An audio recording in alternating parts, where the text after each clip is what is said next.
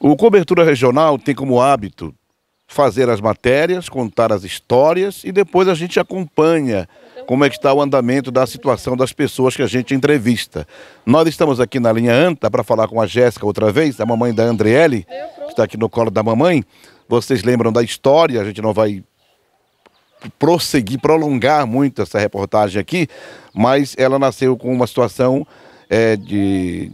Não é uma deformidade, não vamos chamar de deformidade, ela tem uma situação que ela precisa é, da mudança da sua documentação, porque o médico, quando ela nasceu, falou que era menino, mas na verdade ela é menina ela é menina e agora a, a mamãe dela, Jéssica, enfrentava um grande problema com relação até para a aposentadoria da nenenzinha por causa da documentação. Nós falamos que nós temos um advogado amigo, doutor Frank Beis Fontana, que poderia nos ajudar. Falamos com o advogado, mas quem vai poder dar detalhes aqui para nós sobre a situação é a, pró é a própria Jéssica. Jéssica, depois da reportagem, é, o que é que aconteceu, como é que está o prosseguimento da tua história? O Dr. Frank já entrou com as papeladas, ele disse que essa semana já vai dar um retorno e a cirurgia a gente vai ter que esperar um pouquinho, né? Uhum. Vai ter que esperar um pouquinho porque primeiro eu trocar o nome dela, arrumar os documentos, tudo certinho e daí depois a gente vai entrar com a cirurgia dela, né? Muito bem, então quer dizer, a coisa está, está andando dentro da normalidade, não é? Sim, sim, está andando dentro da normalidade. Então tá certo. A documentação está sendo preparada pelo Dr. Frank. Agora, uma outra notícia legal que a gente recebeu aqui com ela é que quando a gente fez a matéria, até o foco não era esse. Falou que o esposo estava desempregado. Como é que está a situação do maridão? Está trabalhando já, graças a Deus. Está trabalhando já. Em Criciúma está indo de ônibus, é. mas está trabalhando.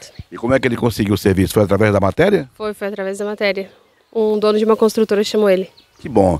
Então as coisas para vocês estão melhorando, graças a Deus, né? Sim, sim, tudo certinho. Que bom. Então tá certo, né? Ela tá trabalhando, vai dar agora alimentação para o nenenzinho aqui, não é? Então essa aqui, a Andriele, as pessoas que não sabem direito da história, quando ela nasceu, é, ela tem uma situação envolvendo ali a genitália, né? Que ela não tem a genitália, nem masculina nem feminina.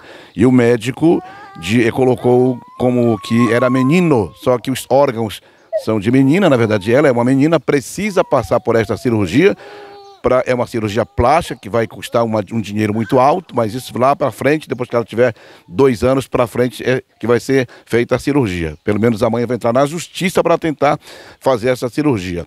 E o doutor Frank Beijo Fontana já está providenciando né, a documentação para que possa haver a mudança de, do nome e do sexo da criança na certidão de nascimento. Muito obrigado ao advogado Frank Beijo Fontana, muito obrigado a este construtor que chamou o esposo da Jéssica para trabalhar e a você que sempre colabora com o nosso programa.